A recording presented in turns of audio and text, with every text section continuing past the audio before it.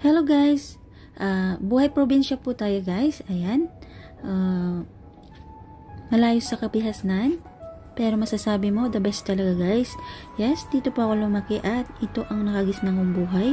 Simple lang pero sagana sa pagkain. Masipag ka lang dito magtanim, mag-alaga ng mga hayop.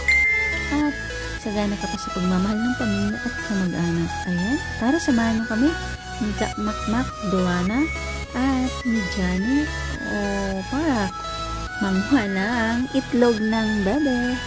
Ayan, tara na guys.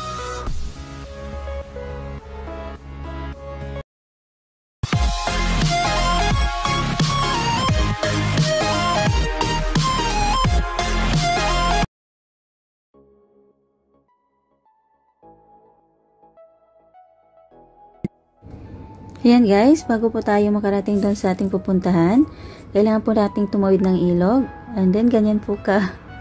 Kadalas yung putik guys. Yung daanan maputik pala, I mean. Ayan. Sim simpleng, kung hindi ka marunong kumakit, talagang simplang ka. Ayan. Gustong gusto ko yung ganitong mga view guys. I love nature. Dati kasi dyan kami nakatira, pero ngayon wala na kaming bahay dyan. Ayan. Ayan yung mga ginagawang yung ginagawang bubong, ay yung bubong, nipa, hindi po nipa yan eh. Ang bulong tawag sa amin, ayan. Namiss ko yung view na ganito guys, ayan. Andyan yung palayan namin dun sa dulo ng ayan.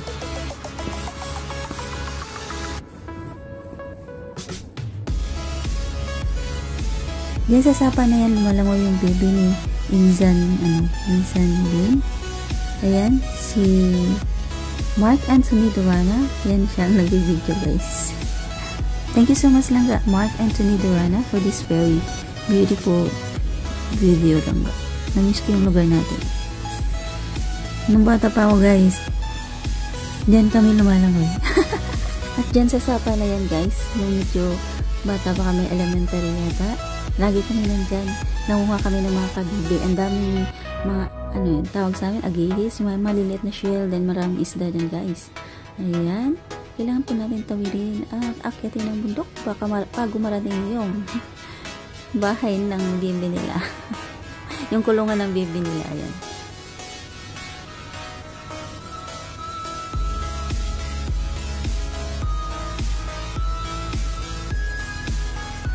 Maputik yung daanan, madulas dapat uh, ah, biging ingat po ayan pasat na.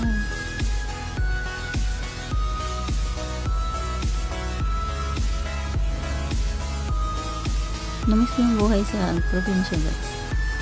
Mas gusto ko yung mga ganito eh. Maganda yung paligid puro green ang nakikita mo. Fresh yung hangin ayan. Naglalakad ka na nakapaalang. Kahit walang chinelas, okay lang. Ayan. Nakakamiss yun.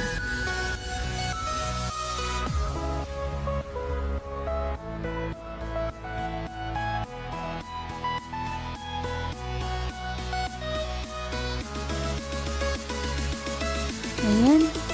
Uh, ito pala yung bahay ng pinsan namin. Pinsan namin, tiyuhin ni Mark Anthony Dora. Ito akan share out sa YouTube po at Bing Bing. Ayan. Thank you, thank you so much. Nagagalit yan sa kagaot mo. o ingat na sa makagat ka. Tsaka yun guys. Yun, dito na. Yun. Ayan na yun. Yung kubo kung saan uh, paggabi dyan natutulog yung mga bebe. Bebe, baby. Bibi. Ayan. Nakakatawa. Dati kasi mayroon din kami ganyan yung mga, yung mga baby. Ayan, pag ganito sila ito ng itlog. Ayan guys, kailangan pinitin kasi nakatago yung mga itlog nila. At lamputin sa isa para ano, hindi mabasag. Ingat-ingat. Ayan, o diba, may ulam ka na. hindi mo na kailangan bumili ng itlog sa town guys. Hindi mo kailangan pumunta sa market. Ayan. Dami.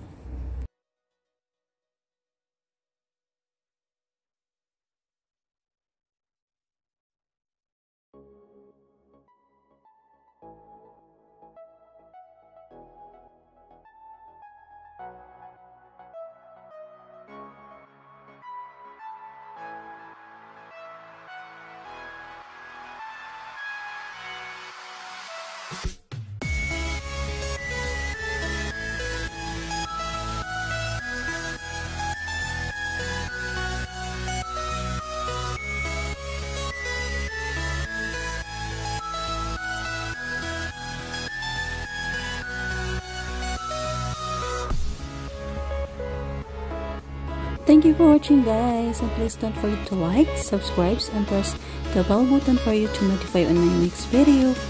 Thank you. Love you all.